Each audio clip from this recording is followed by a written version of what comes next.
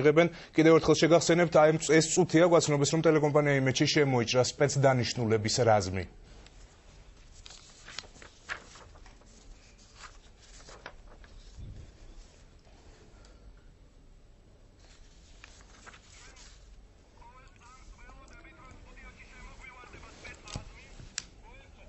ჩვენ ყოველ წამს ველოდებით რომ სტუდიაში ჩვენთან შემოვა სპეცდანიშნულების რაზმი ჩვენ მუშაობის საგანგებო რეჟიმზე გადავდივართ ტელეკომპანია იმედის თითეული ჟურნალისტი ითხოვს უსაფრთხოების განსაკუთრებულ ზომებს.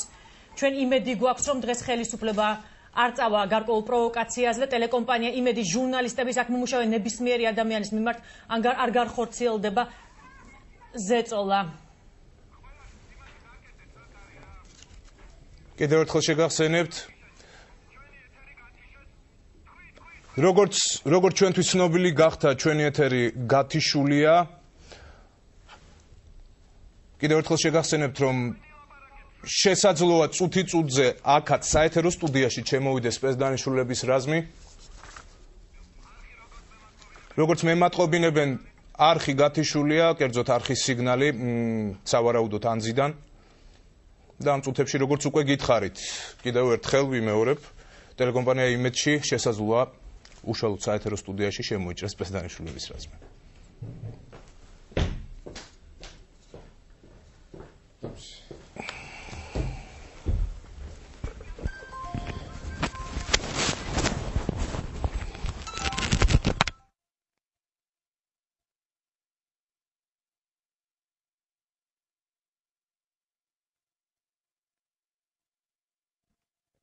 რამდენიმე წუთი იმისთვის რომ მოგმართოთ და გითხრათ რომ ტელეკომპანია იმედში შემოვიდა სპეციალური დანიშნულების რაზმი ნიღბიანების რაზმი ყოველგვარი გაფრთხილების წინაშე.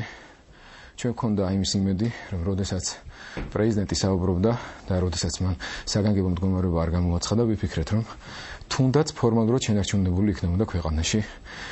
თუნდაც ის რომ იმედი იმაუწყებლებდა ამ წუთისთვის მე მაქვს ერთ-ერთი მიზანი მიმართო ხელისუფლებას მაქსიმალურად თავშეკავებულობისკენ მოუწოდოს თავის თანამშრომლებს, რომ აქ რომელიმე ჩვენი თანამშრომელი არ დაზარალდეს.